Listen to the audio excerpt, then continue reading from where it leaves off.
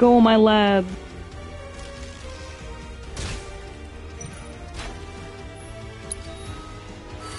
I'll be real, I don't think I do enough damage in time.